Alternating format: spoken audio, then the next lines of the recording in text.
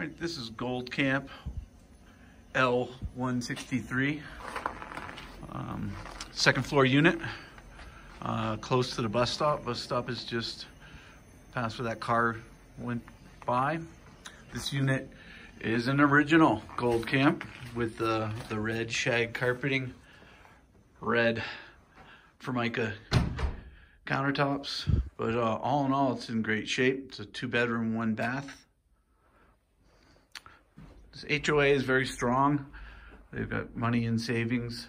You'll get some filtered views of Peak 7 off the deck here. That wood burning fireplace uh, needs to be removed. The HOA just passed uh, no more wood burning fireplaces. It's becoming on the market at $399. Remodeled units have sold in the high fours.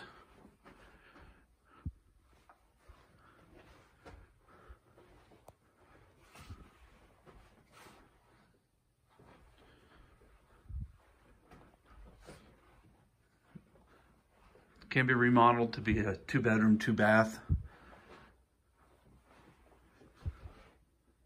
That side load bathtub classic.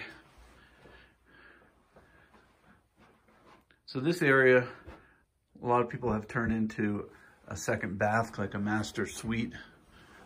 If you take out this uh, owner's closet here, move some doors, it can become a really nice master.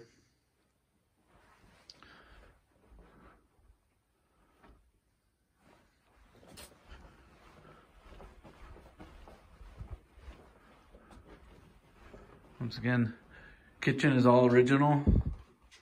The refrigerator is an original. And so does the Jenn-Air downdraft. But the unit gets great light and is conveniently located.